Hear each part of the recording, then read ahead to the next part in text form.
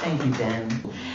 Now, Linda, let's get stuck right into it. Okay. Um, it's a it's a wonderful book. Thank the you. reason we need to get stuck into it is because you, ladies and gentlemen, need time to ask questions, and because even though it is, I think she's actually probably claiming correctly, it is the shortest history of China. It's a bloody long history. So, got to get moving. Um, but let's start with you. The, uh, I was really taken by, in fact, the dedication in this, which you've written in memory of my parents, Lewis and Naomi Jaivin, who encouraged me to study whatever interested me. Full stop. What interested me was China. so, why? Where did it come from? Uh, it was completely random. I entered university thinking that I was going to do political science and then work for citizens' rights and environmental organizations and change the world, save the world, whatever. Um, and in my first year at university, I was at Brown University in the States, and they encourage you to explore and take different courses. And um, so I was asking people, I was thinking, okay, I'm going to take physics, physics for non-physics majors. I'm, I didn't add. Um, I didn't take any further physics. Um, I took a bunch of courses, and I asked somebody, can you uh, can you tell me about a course that I just wanted something that I wouldn't think of myself that was taught well? And somebody said, oh, East Asian history is fantastic, taught by Professor Lee Williams. And uh, it's a great course. So I said, hmm, I've never, I don't think I'd had a single thought about China or Japan um, really in my head before then. I mean, I just can't remember any thinking anything at all. And I thought, oh, okay, that's interesting. And it was so interesting that I then took more and more courses. And then Lee Williams said to me, you have to learn Chinese. And I was like, no, no, no, no. no, I did really badly. Why? well, I was like, I, I, you know, I, I took French in high school, and it was a, you know, it was not pretty. Um, and he said, no, no, no, you have to take Chinese because you will never understand Chinese history if you don't learn the language. You will never understand anything if you don't about this country if you don't learn the language. And so I was like, oh, okay. And then I loved it. I mean, I loved it as much as I loved the history, and it each deepened the other. So I was off and running. And I never saved the world. Are there are there elements of it, it, it as you learned more about China that it came together? I mean, was there a was there a Rosetta Stone moment? Was there was there a moment when you thought, I've got this, I've got this? there were many moments like that, and each one was wrong. I'm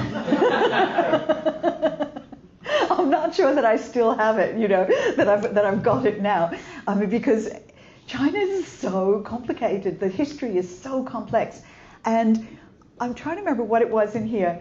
I was, I then began reading something else um, just the other day, and I was like, oh my God, I just hadn't realized the full historical background of the emergence of the philosophy of legalism, which you don't have to worry about.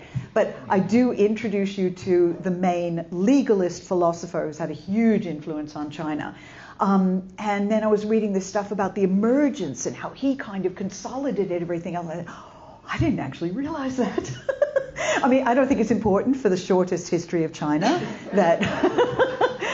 but um, you know, and the thing about this is the thing about Chinese history. So you learn, uh, you start out, you learn the dynasties, and you're going Ming Dynasty, 1368 to 1644. You know, you're going Opium Wars. What was that about? You know, and you're kind of trying to get the basic line of it, or uh, you know, the the through story. And then um, you realize that you never understood anything because you didn't really understand how every dynasty wrapped itself, as, as my friend Zha Jianying, a writer in, in New York, says, it, basically every dynasty has wrapped itself in the cloak of Confucianism. Short, short explanation of that. Confucius said that rulers should rule by example. So a ruler being good and moral and making the right decisions would it would flow down into society. And so that's that's that's a really, really short version of Confucius. There's a slightly longer version here. Um, but Han Feizi, who is the philosopher of legalism, who lived slightly after that, was like, there's no right and wrong. Right and wrong is whatever a ruler says it is. And the way you rule is not by moral example, that's ridiculous. The way you rule is you create laws that punish and reward. And therefore you shape people's behavior. So Zha Jianying has said that Confucianism is like the cloak of every every dynasty, every emperor has put that cloak on, but inside there's always the heart of darkness, Han Feizi and legalism. I wasn't going to go straight into the mode. Sorry, that was no, no, but no, but since we're here, um, just let's look. You've mentioned legalism. You've mentioned Confucianism. This extraordinarily powerful influence. There's the third path um, is Taoism, and so which is that? Uh, uh, define that briefly and say, do they fight or are they friends? Okay, so Taoism. Um, all of this originated around the same time. Confucius was born in 551 BCE. Uh, Lao Tzu, the founder of Taoism, is a completely mysterious figure. Uh, we don't actually know when he was born, but the, the philosophy kind of came up around the same time. And then, um, and then there's uh, Han Feizi was a little bit after that. Now, Taoism talks about, and that's really hard to um, explain very, very briefly, but it talks about the power of non-action. You know Bruce, Bruce Lee and be water? That comes from Taoism because Lao Tzu was talking about how water, be like water as it flows downhill, it flows into vessels and so on. There's the quote, the full quote is in there. But um, what the Taoists were very uninterested in government because they believed that the best ruler basically sat there, appeared to do nothing, and everything kind of worked. Flowed through. So the Confucians were fascinated by the Taoists because the Taoists were really smart. and the Confucians believed that every educated person had a duty to advise their ruler, um, to help with good government. And the Taoists were like, nah, I'd rather sit here and fish, you know. and so there's so many stories about the Confucians trying to get the Taoists to come on board, and the Taoists are always making fun of the Confucians. The Confucians are like the straight men in every Taoist comedy routine.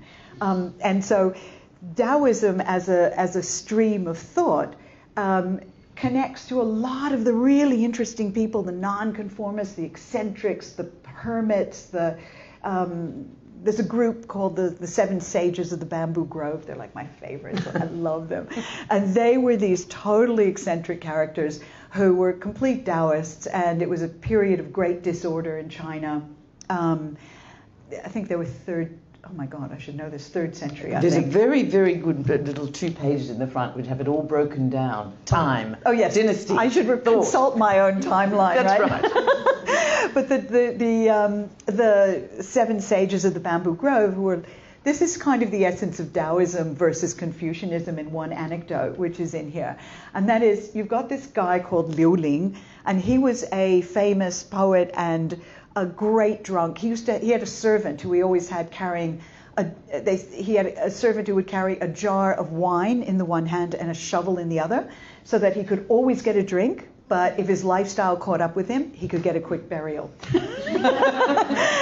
and uh, Liu Ling, um, was this famous drunk, right? And, and he used to make fun of the Confucians who would come and visit him and try to get him to be serious and talk about things and talk about, you know, affairs of state. And he would compare himself lying on his mat, getting pissed, while the Confucians were, their words were, were like little buzzings of flies and all this. Anyway, one day, these uh, Confucians came to visit Liu Ling, and they knocked on his door, and he opened up, and he was getting completely drunk, and he was naked. And they were so shocked, you know, being Confucians, are very proper. I mean, the Confu- Confucius actually talked about the color of the proper car- color for a man's lapels. You know, they were very like that. And so they were like, oh, and there's Liu Ling, um, completely stark naked. And, uh, and so Liu Ling looked at them and he said, I take heaven and earth as my pillars and my roof. I take my house as my robe and my pants. What, gentlemen, are you doing in my pants? and that pissed as a parrot. and that's kind of that's a beautiful anecdote that sort of just shows you that the Taoists and the Confucians were never going to get along. But I can see, I mean, I'm beginning to see that the magic of it because you look at our political system, liberal, Labour, Democrats, right? And they do nothing. That's right, and drink. Um, and but any country which has actually these great sage, these rivers of sagedom feeding into their system is intrinsically a very interesting one an impressive. Mm. Let me ask you. Uh, let, us talk a little bit about the about the beginning of things in China because um, we're not going to go through all the dynasties. It, it, the book is for that, and they are fascinating. It's a really engaging book. But um, I like I like. Let's start with the story, which is where it where it does begin when when when the unification of, of China happens in 221 BC you think what the Western world was doing then. 221 BC, a guy called Qin Shi Huang, he was the founder. He's the guy, he's a complete um, uh, egocentric. He, built, he was the one who built himself the terracotta warriors, yes. that they were going to protect him. Um, is that the foundation story of China because it was the first unification? Uh, there's so many foundation stories. It's like learning about Chinese history. It's like, oh, that, oh, yes, got it. Um, and so, in some ways, a foundation story is the dynasty before the Zhou dynasty that broke up. Confucius and the others uh, arose in this crazy divided time. Now, there was a time of great warfare of, of, of all these states fighting each other. And Qin, Qin Shi Huang um, was, he, he became king of the state of Qin when he was 13. And he set out to conquer all the other states, and he did. This is a really important moment in Chinese history. In China, they say that he unified China. I have a map here of the Qin. Yes, he unified a whole bunch of states in China, but it didn't include Xinjiang, Tibet, the northeast, the southwest, or much of even the um, southeast. So it was it was the states at the time that he unified, but it wasn't what we think of as all China. And yet, this is such an important story because it's about ending chaos, division, and violence and bringing everything together. And the, he didn't just bring the states together, he thought, how do I create a unified state? So, among the things he did was um, he abolished uh, the system where uh, in the past kings would say, um, ah, yes, my child, you can have this part of the fiefdom to run, and you may have that part, you know, and, and so on. He said, no, that's actually a, a, a recipe for disaster and division and, and, and, and all that. So he assigned administrators, neutral administrators. He, he looked at the language. There was written, there's been written Chinese since 3,500 years ago in the shape of um, characters inscribed on shell and bone. Um, but there was a lot of differences in the way they were written from place to place. So he put all of them together, unified the writing. He unified weights and measures. He even unified the cart axles. Um, because, can anybody, does anybody, it, it was really funny because I thought, I, my, my editor said to me, Why did he do that? And I thought, I've just written that line and I have no idea. so I went back and I looked it up. And the reason he unified the cart axles was because with with dirt roads, you get ruts, right? And if you don't have unified uh, distances between your wheels, everybody's going to keep falling into the wrong ruts. And this meant better transportation. I have to say, I so, took against him because he was a book burner. Oh yeah, he? now he did this is the thing. Books. He was a terrible person um, in in many ways.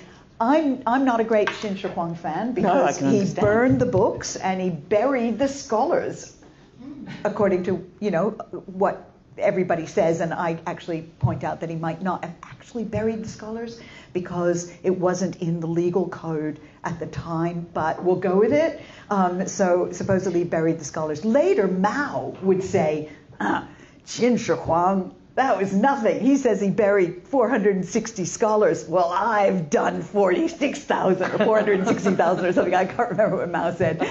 But yeah, yeah. Uh, he's a tyrant. And so this has left China with a number of really complicated legacies. One is this feeling of unification as being really good because it ends division and violence and chaos. But does it have to come at the price of tyranny? Yeah. And that's what I think is so, which I think you draw out um, and leave leave also for us to deduce something, mm. which is which is that in fact it's not just a history book. It's sort of a primer for understanding China now because just as we wear our short history, imagine how much longer their long history is. And, that, and it's, it's the story, we have a linear past, you know, the, the UK, US, we, we tend to, you know, we start here, they freed the slaves or, you know, they, they burned the missions or whatever terrible things, it does tend to be terrible, they did. But it's linear. Whereas this history Utah, is, it's, um, it revolves, it's circular. It's, there's so many theories on how Chinese history works, and Chinese traditional historiography has been about circularity, has been about dynastic cycles, and it's been about how um, a, a dynasty starts out fresh. It starts out with somebody who has vigor and the mandate of heaven.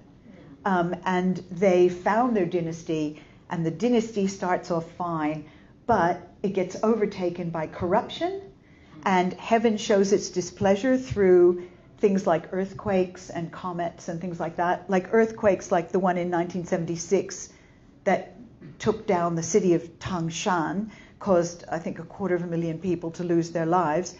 And that was interpreted or whispered at the time that that was Mao losing the mandate of heaven. So that idea persists. People actually still have that notion. So when you lose the mandate of heaven, then rebellions arise and people start um, uh, trying to overthrow you, and then they form a new vigorous dynasty with the mandate of heaven, and so on. But not before the custodians of the old dynasty have become repressive and corrupt. Yes, when they become repressive and corrupt, they lose the mandate. That's the theory. That's the theory, yes. um, as I said, we're not going to go through all the dynasty, but I, I just think we should come to some of the characters. We've been talking about the thought and the phenomenon. Um, and I think the Han dynasty, there was a, two of them, the, the, they came along um, after this first founding dynasty.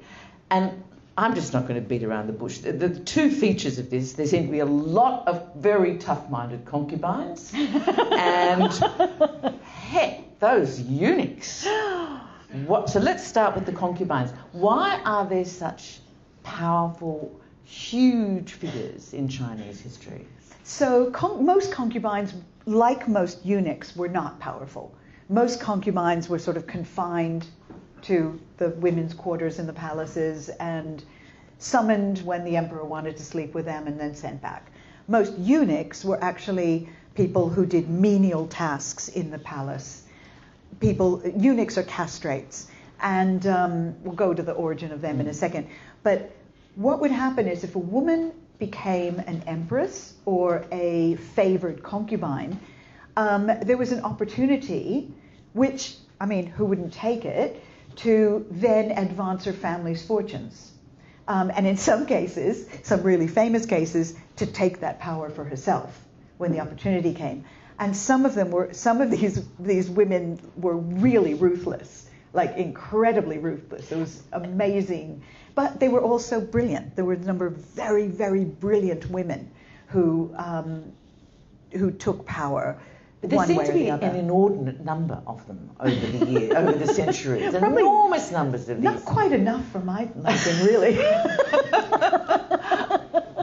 well, I mean, some people they had them under control. I, li- I liked the um, the empress who who saw her husband's concubine as a rival oh and decided God. this is Cixi, the Empress Cixi.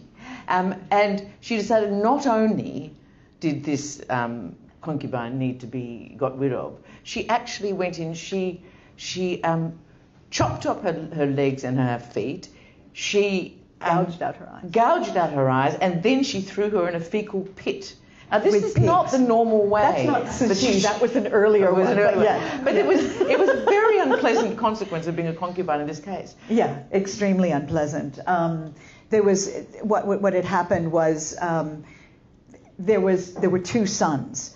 Um, and the son of the empress, who had been with her husband when he founded the dynasty and when he was just a peasant and a rebel. So she, she was like the old wife, you know. And they had a son called Ying, who was not very vigorous. He was not very warrior like. And so a bit of a disappointment to dad. Um, and she was very protective of him. So when there was a battle, and he's, and, and, I think I think dad had been wounded and he was like, son, you go out and lead those troops. Um, his mother said, no, no, he'll stay at home. I'll do it. so she went to war. Um, he then falls in love with a younger concubine, right? And he has a son with that concubine. And so the thing is, is that it was really clear that he wanted to choose the other son, who was more of a kind of a boy, I suppose, um, to be his successor. So his empress was like, well, I'm not going to let that happen, am I? And the the Ying, her son, everybody sensed she was going to be up to something. So Ying kept his half brother by his side to keep him protected from his mother because he just didn't trust what was going to happen.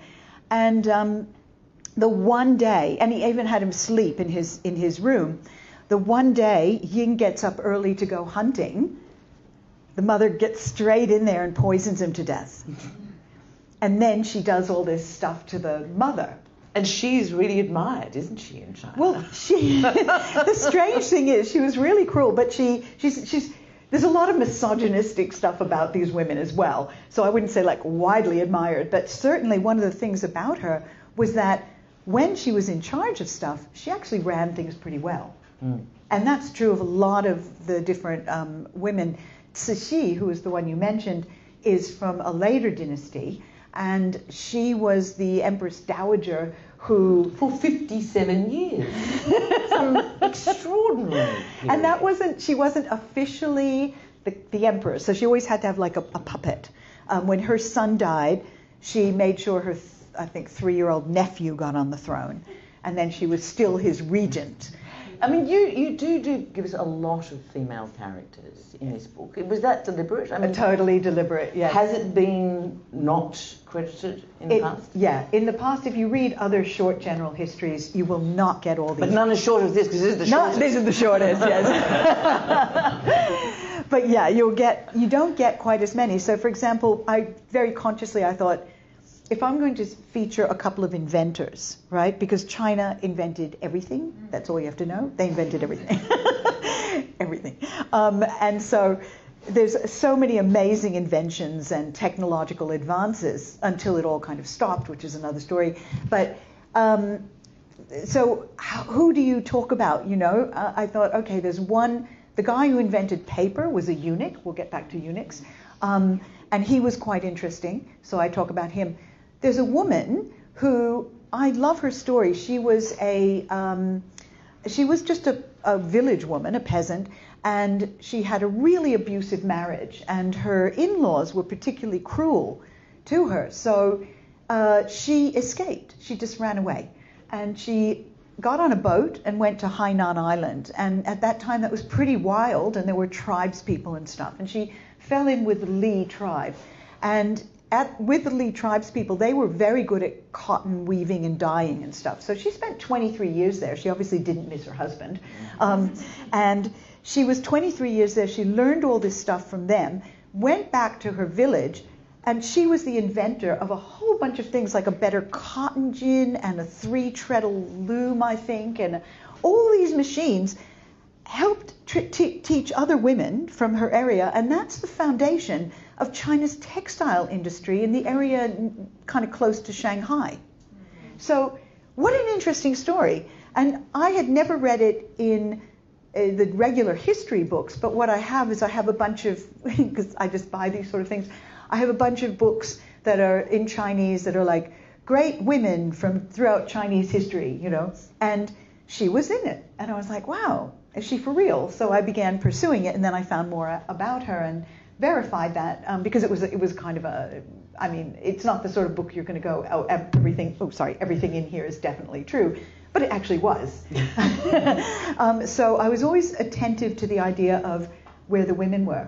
And my favorite woman can I just yes you can tell my favorite. woman is Tang Qunying. She was a feminist a fiery feminist at the end of the Qing dynasty. So we're talking about early 20th century and she she was she was really something. Her dad was a Qing dynasty general and he taught her martial arts and he gave her a boys' education.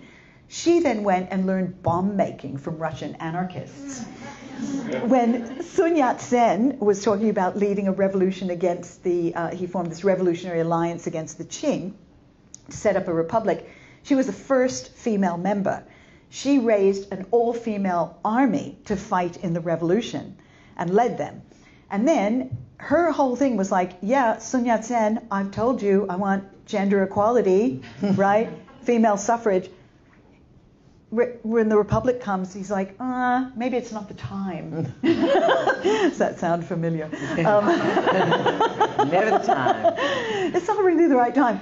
So she was. So what did she do? She got her girls together, and they raided the National Assembly, smashed windows, kicked guards to the ground, and boxed the ears of the legislators and twisted their beards with, as one newspaper report had it, their delicate hands. and what happened to them? What happened? Sun Yat-sen still was like, oh, yeah, yeah, I get it, but not quite the time. She just ended up going back to her village. Yeah. Is she a hero or heroine in China?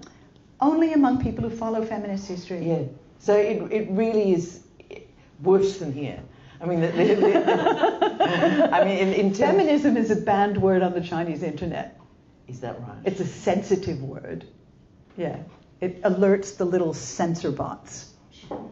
And is that because it's women or just because it's anything which is contrary to the central tenets of belief? It's because it's contrary, um, but it's crazy. This is actually the first time in communist Chinese history that women, uh, that feminists have actually been suppressed. And it began in 2000 and I think 15 with the Feminist Five all they wanted to do was hold up signs against uh, sexual harassment in the subways.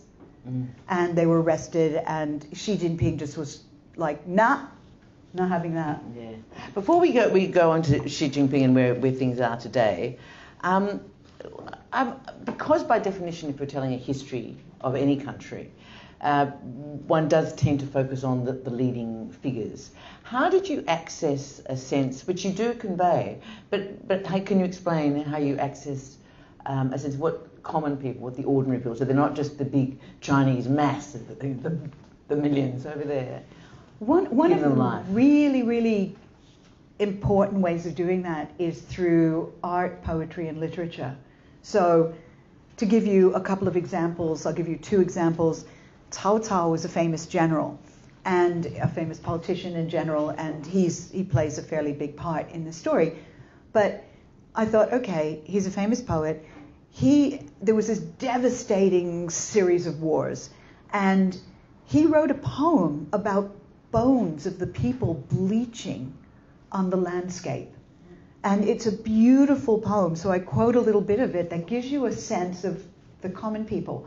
Um, another poet, Du Fu, um, was forced to flee when um, there was a coup in the Tang Dynasty um, or attack. There was something that happened, and he and his family had to flee. And he talked about his his little son bravely sort of forging on. I think his little daughter biting him in her hunger, and and you know you get this sense of the people fleeing. He was one of them. Um, but also, there's a Sung Dynasty painting, a very, very famous painting, and it's a really, really long scroll. And it's about a city, but the city has never been, it's kind of an abstract city. It actually doesn't correspond to any of the great cities of the Sung dynasty. We're talking about, I don't know, 11th century or so. Anyway, this um, scroll has fantastic detail. It's really detailed. So you've got people snacking on a bridge, you've got people selling things by the side of the road. You've got camel trains in the countryside, you've got donkeys, you've got farmers in their fields outside the city, you have um, restaurants, you have all this stuff, like all the life in the street, people washing their clothes in the river. And so you get a, this is, you have to look at this stuff, you mm. know, and the folk songs that are in the one of China's oldest books, the Book of Odes in which they there's love stories, there's stories about farming, domestic life. There's also stories that take the piss out of um, out of rich people and nobles mm. for having oh how did you get all that grain in your yard when you don't actually plant anything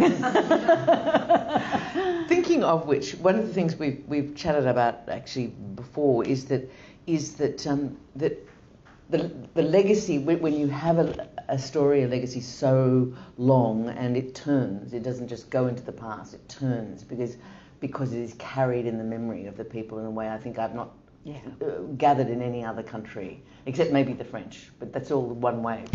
Yeah. Us. Um, one of the things you said is that, is that therefore the things that go wrong as well as go right become more than an event that happened then, that it's dead and gone. Um, and corruption, which in fact brought down the very first, the Qin dynasty, has been the, the thing that keeps being the, it's like the spectre at every feast. Can you talk a bit about how that story became so deep for the Chinese and how they are still reacting to it now? Um, corruption really, from all the different historians of China, it, the Chinese historians of the various dynasties, would really note how a, a regime, a, a- dynasty would end up being corrupt, would end up with its um, with various eunuchs or officials accumulating unbelievable amounts of loot while the people went hungry. Um, people, uh, tax collectors who were incredibly cruel and exploited the people but were never called to account um, because the regime at this point didn't care. These things become embedded in the notion of when a government has to go. And so when um, Xi Jinping came into power in 2012, one of the first things he did was launch a major anti corruption campaign. But isn't one of the first things pretty much every ruler does when they come in? Pretty is much, launch an anti-corruption campaign. Yeah, I mean, some in particular, like the Ming Dynasty uh, founder Hong Wu, is one of the first things he did. And also, like Xi Jinping, one of the other first things he did was create, do a, a giant purge and get rid of all of his enemies in the court. And like Xi Jinping, he also uh, didn't trust scholars, intellectuals, ministers who knew too much. Mm. You know, who had independent thought and might actually advise him differently from the way he wanted to be advised. So, in what way does that horror, fear, inevitability of corruption play out in contemporary politics? Do you think? Well, I think we've seen with um, major um, purge uh, that that's ongoing, and the interesting thing is the people who get purged are never people in his exact clique, you know, in his little on his side. It's always other people. I'm not saying they weren't corrupt, but there's a way of going after corruption that favors that, that, that well, I wouldn't say favors, but that goes after your enemies, you know, and clears mm. them out of the way. And there was a really interesting story, which I think probably people might have remembered from a couple of years ago, or from, well, not that many, like from 2011 or so. Bo Xilai was seen as a rival to Xi. Like nobody knew who was going to exactly get to be the supreme leader. And Bo Xilai himself, he was the mayor party secretary of Chongqing um, in the southwest, big, big city that actually is is provincial level in terms of being an administrative unit. And and he uh, ran his own anti-corruption campaign and was very famous for it. But turns out he was as corrupt as the rest. And he got caught because his wife happened to murder an Englishman. Bad move. Um, but, you know, corruption is just this constant thing that just keeps bubbling I think you were saying it's, it's a wound. It's a wound they have. Which, which, why is it more extreme than in other countries where corruption occurs, of course, as well? um, Or why is it more aber, uh, abhorrent? Um, it, it, well, I think, I don't know if it's more abhorrent, but it does cause, there's such a link to suffering of people, you know, because of corruption. Um, but it's, it's certainly when you don't have a system that is built for transparency or accountability. And where, where the emperors traditionally went wrong was when they refused to listen to advice. So you would have somebody like Hai Rui, the, minister, the, the upright minister of the Ming Dynasty, um, who would try to advise these emperors, and the emperors would. One of them wanted him killed, but he died first, so he, Hai Rui survived. Um, people don't want to listen to the advice that means they have to lose a little bit of something. Mm. And so that's been a problem. But I mean, one of the things about this through story, this constant awareness of the past, that's also carried through literature. these stories that keep coming around, and people still, people in China, Chinese students, from 1961, I think, studied um, examples from Sima Qian, who was a historian who lived in the Han Dynasty. So, in other words, a historian who lived 2,000 years ago. Um, students today, or from 1961, were studying examples of good people and bad people from Sima Qian. And one of them was a great rebel who, as the story goes, only everything had gotten so shit in that dynasty um, that he only the Qin Shi Huang dynasty, the Terracotta Warriors guy.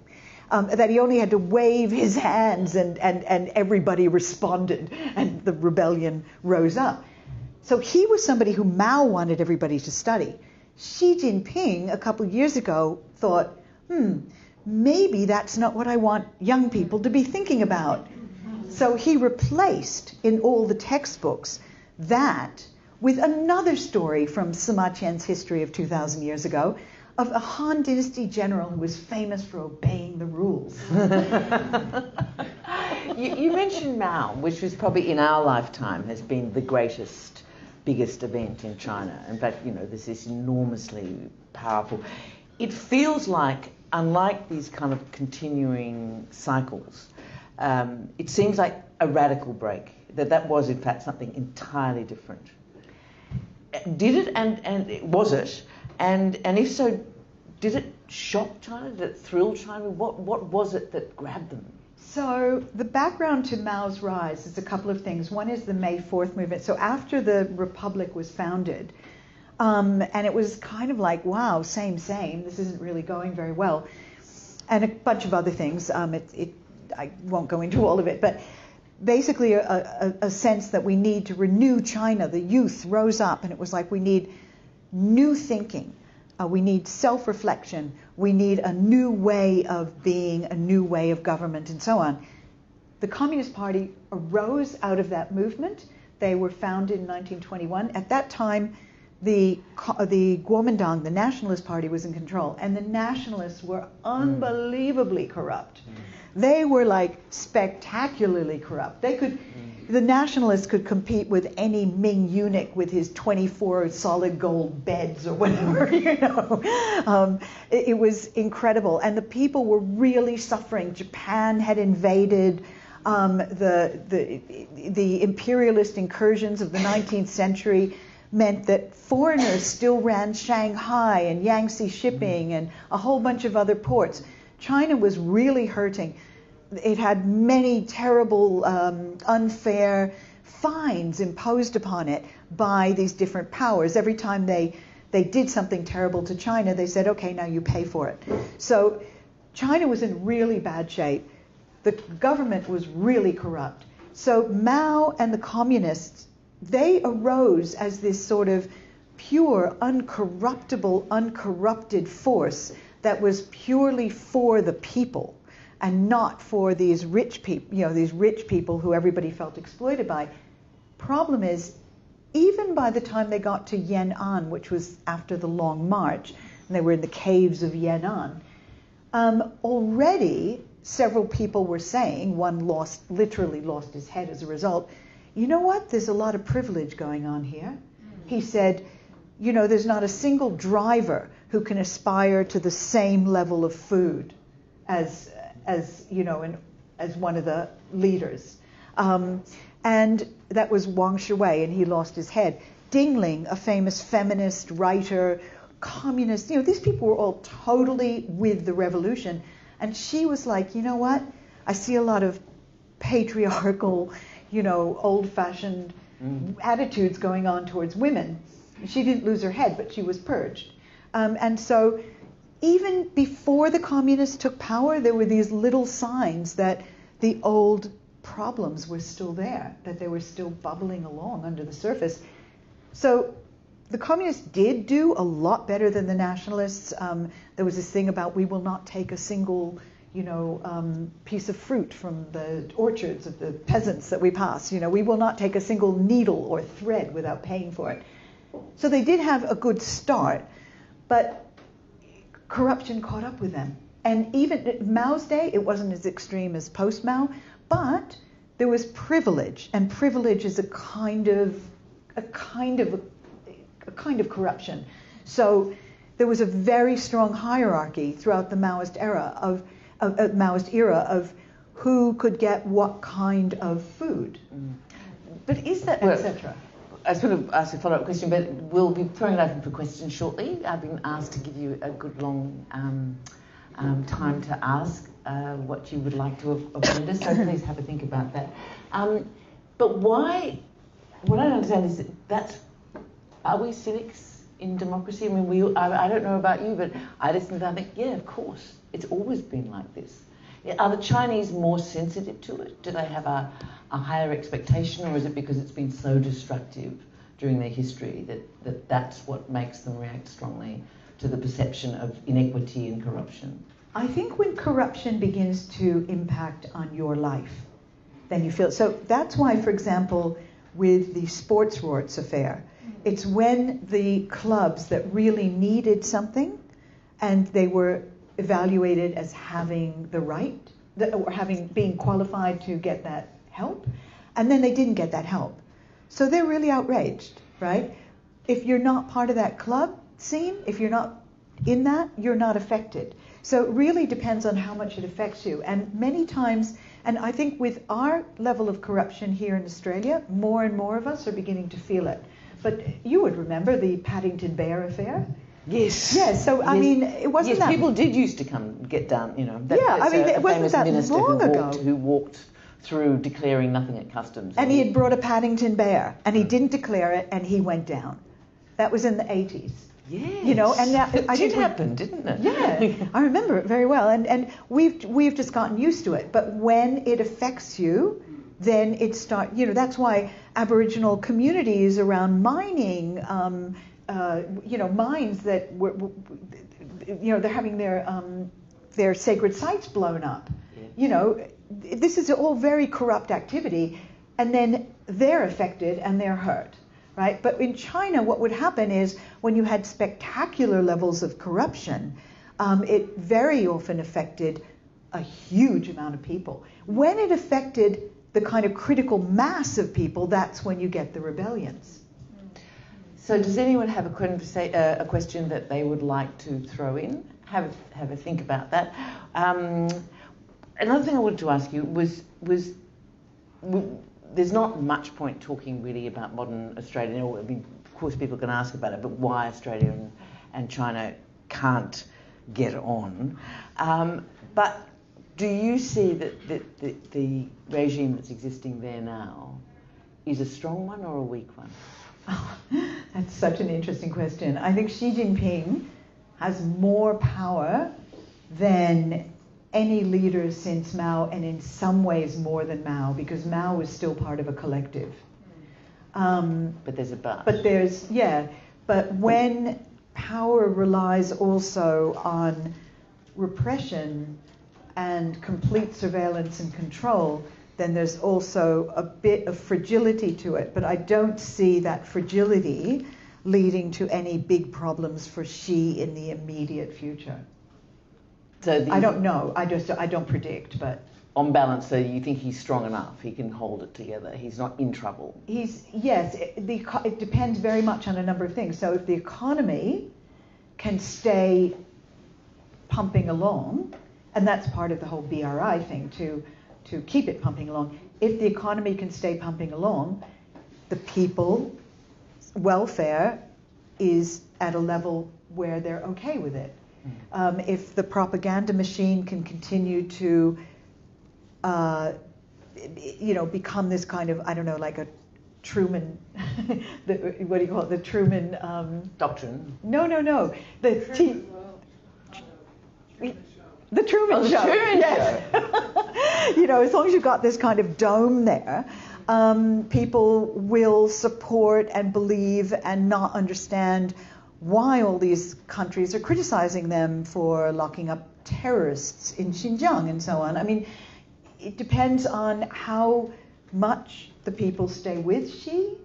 It depends on whether corruption and other things make people unhappy enough to try to challenge Xi. It, there's so many issues, there's so many complex, interconnected factors. You find it fascinating, don't you? I do. The everything to do with China. Is there a question? Yes. How, how corrupt is uh, the current regime? Is there any ideas that you have about that? How corrupt is the current regime? Um, look, I, I haven't done any personal investigations, but we do know that, say, um, the New York Times, Bloomberg, and others have done major investigations into the holdings, uh, the, the financial holdings of various communist leaders, um, and they are now banned in China for those, those investigations. Um, I think that you know, when you're in China, um, you'll be in some place, some kind of, you'll be in some place like Inner Mongolia, and somebody, and you'll come across some weird development, and they'll say, "Oh, that's the daughter of Li Peng, you know, this former leader," or "That's so and so's son." You know, it's just it's ambient. There's an ambient level of corruption. How corrupt? How long is a piece of string? Um, and as I said, there have been people who've done really good work on this, and that's not me, um, but you can find that good work and look at it and judge. There was a question up the back, yeah. Um, could you uh, have a stab at explaining to me this most mysterious metaphor, belt and road? China can't conjure up an image. Know, I'm not sure whether we're talking about an industrial belt or a road. I. Thank you, Julie. Julie just said, um, "Can you explain the metaphor, the mysterious metaphor of the Belt and Road?" In fact, it's not that mysterious once you sort of get a, um, once you realize what they're talking about. I know it sounds quite strange, but the belt um, is a so the road. I'll go to the road first. The road is a, an extension or a contemporary interpretation of the Silk Road, which once linked um, the capital, which was at Xi, what we now call Xi'an, with um, basically Persia and India and all of Central Asia, all the way uh, to to Europe. So the Silk Road is, and there were tea roads as well from south, southwest China, also out there, um, and so the road is now linking trade because trade ideas um, friendship whatever you know that's they they have that as part of it um, now links China with parts of Africa and South America and until last week or so Victoria and and you know uh, and then the belt is a reference to the the journeys of Zheng He who was a, a Ming dynasty eunuch general um, who say, who did um, I've just lost the number, but he did a number, I think seven, um, that might be wrong, um, it's in there, um, major voyages. Um, and he also conducted trade, diplomacy, um, Chinese soft power, or Ming soft power to be completely accurate because it wasn't China, it was the Ming. And, you know, people never called themselves Chinese in the Tang Dynasty; they called themselves a person of the Tang. You know, this was Chinese is a new word from late Qing Dynasty, which is new in Chinese context. um, but yeah, so belt is the belt, the maritime belt. So it's it's it's Zheng He's voyages and the Silk Road.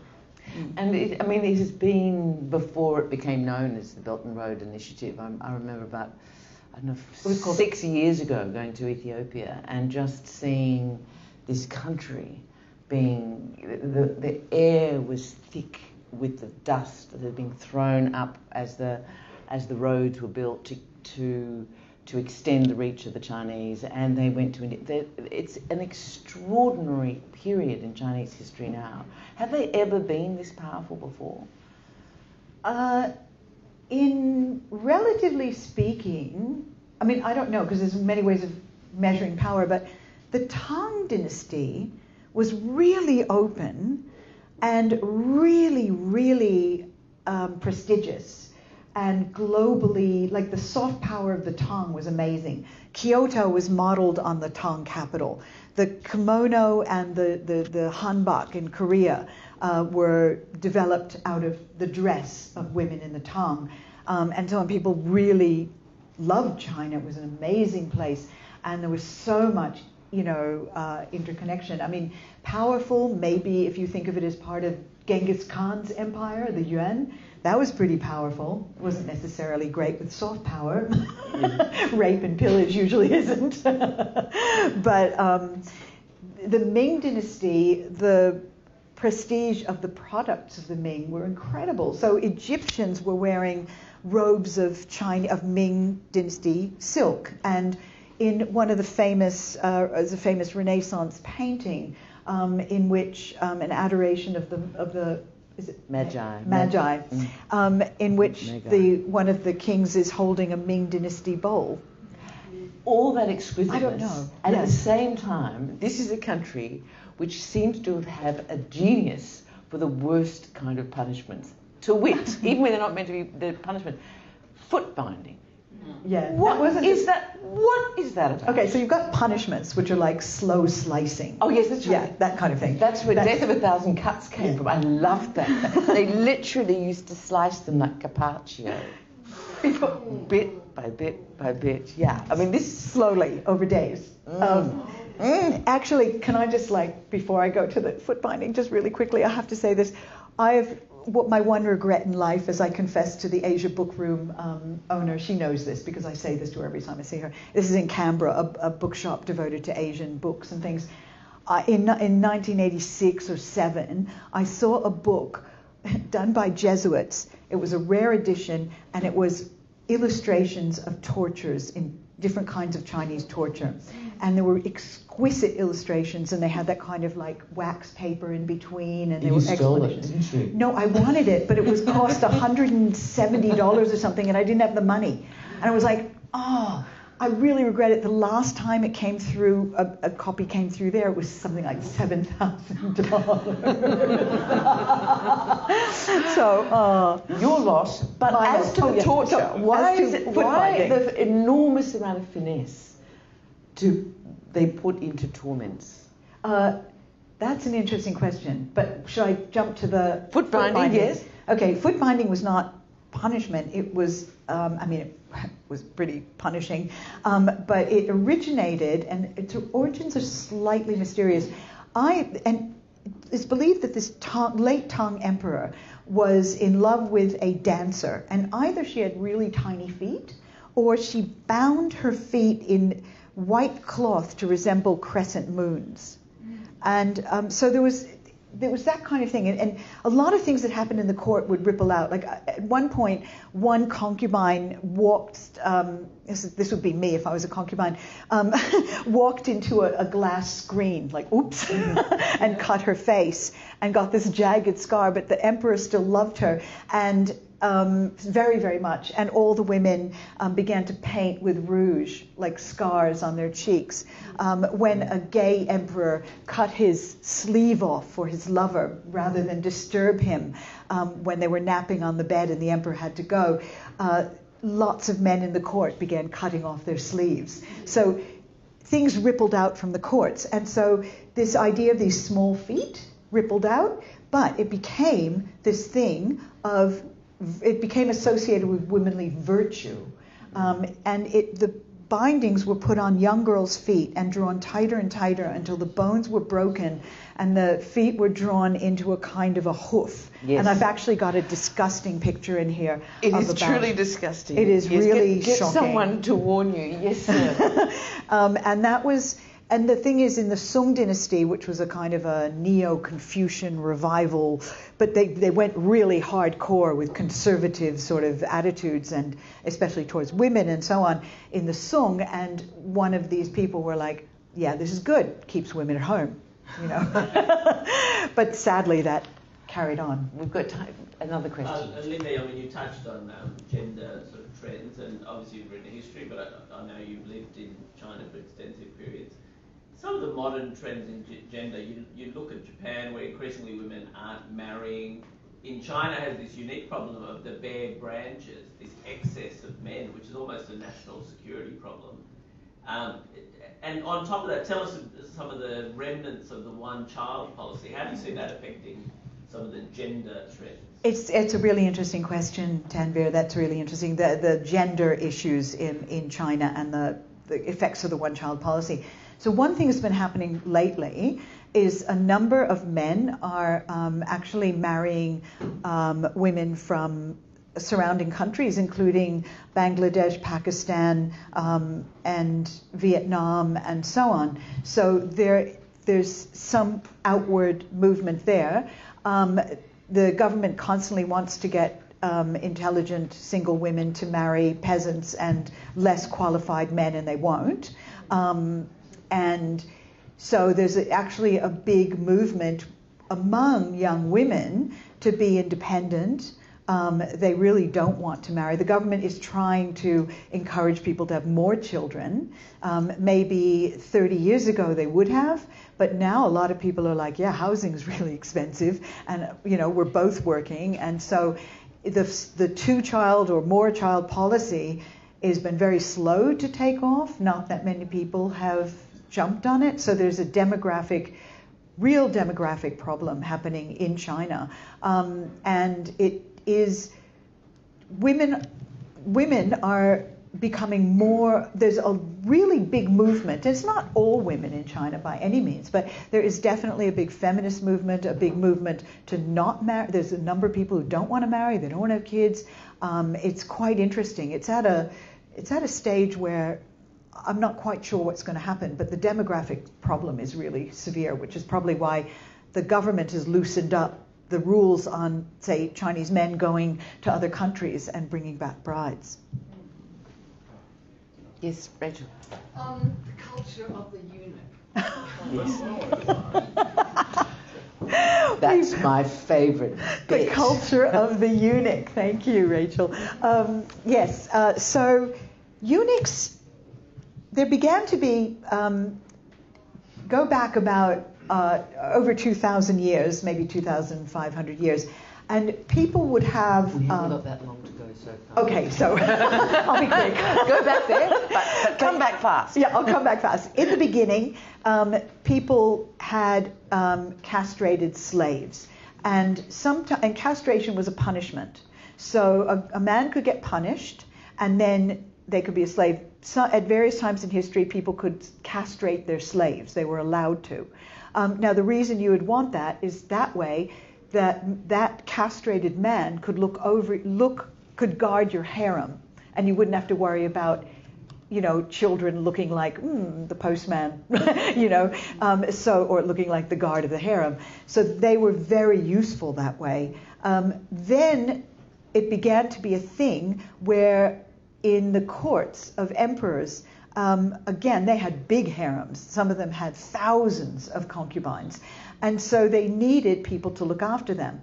And these and castrates were often some people would castrate their sons, very, very poor peasant families, because this was the only way they saw to get to get their family to have, you know, riches or some chance of advancement and food. I mean, you know, um, and so people went into the palace um, as castrate. Some of them had been punished and had been castrated. Some had their parents. Ca- the saddest story in the whole book is of this poor guy who was castrated basically 10 minutes to the end of the last dynasty. Mm-hmm. And he, yeah, he only died in 1997. Mm-hmm. And he kept the castrates would keep their precious, as it was called, in a little container. And they would carry around their precious and this is another thing with belief. So you've got Confucianism, which doesn't believe in anything like reincarnation. It's very, um, you've got, and they believe it's really important to carry on sons and carry on your families. Then you've got um, the Buddhists. Buddhism came into China in around, I don't know, a couple hundred um, AD sort of thing. And those Buddhists, you know, talked about reincarnation. So the, the castrates, the eunuchs, were Buddhists because they believed they could be reincarnated, and if they carried their precious with them, they could be reunited with their precious. Though it, I must be. Can I just ask, but how did they become, like you talked about a number of them be, becoming very wealthy and corrupt? How, how did They, how did that come from someone that was the talented ones among them, and there were many, um, got the confidence of the emperor. Um, they were able to become, and they often, for whatever reason, were made in charge of the emperor's bodyguard. Um, they would get these important positions. And what happened was several times emperors were like, the eunuchs are becoming way too powerful. We've got to stop this. So um, one emperor, the founder of the Ming Dynasty, said, emperors, uh, sorry, eunuchs will be denied any kind of education because if they're illiterate, they can't get involved in govern- government. They can't become advisors. They can't become that powerful. But one of his grandchildren or great grandchildren said, I really like this eunuch who's been looking after me since I was a kid. And he founded a school for eunuchs um, in the palace. And once eunuchs got education and they could give good advice or bad advice, um, they had incre- also they were in charge of the stores. So in charge of the storerooms, um, the tribute that came in from other countries or from say the South sends the best tea and Burma sends jade and all this stuff. So that they were in charge of these giant warehouses and things just kind of fell off the back of the truck. Um, quite often. Uh, they had multiple opportunities once in the palace and at a certain level to exploit their position. And maybe it's just the way it fell in the story, but they seem to do a lot of plotting. A great deal of plotting. Big plotters. Yes. Yes. They were pretty good plotters, and often they became good friends with the concubines because they were watching the concubines, right? So they were guarding the concubines. They might become really close. Cixi, and I didn't really write this in here because it was just, it's the shortest history, but Cixi, the Empress Dowager Cixi, had a, a, a, a eunuch, Li Lianying, who she was really, really close to. And they used to take these kind of, when they, she loved photography, so she would take these fanciful vignettes where she was, um, she was the bodhisattva and Li Lianying was offering various things. As, you know, I mean, they, they used to play together. They were friends, and he was also a co-plotter in a whole bunch of intrigues. Plots do feature very heavily, and we could actually go on talking forever because it's, it's hugely entertaining to read. I've got to say, I mean, I was in China a few years ago, and, and it was um, in, in up in Jiangxing where, where the repression was just starting, and it is I've got say, for an outsider, it's hard to love because there is so much repression that is so visible. Um, and, and it was a delight for me reading this book because there are so many great stories and it makes you see, um, at least begin to think how much is prejudice, view, history, what you, what, what you think you know, and how much of it is you just didn't know. And um, there is just a riot of, of, stories here. I advise you to uh, entertain yourself, and I don't often do that. Um, I never encourage people to read certain books, never. um, but I think Linda will be prepared to sign some uh, books. I'm down will come and explain about that. But can I ask you just to say a warm thank you to this excellent author? And thank you.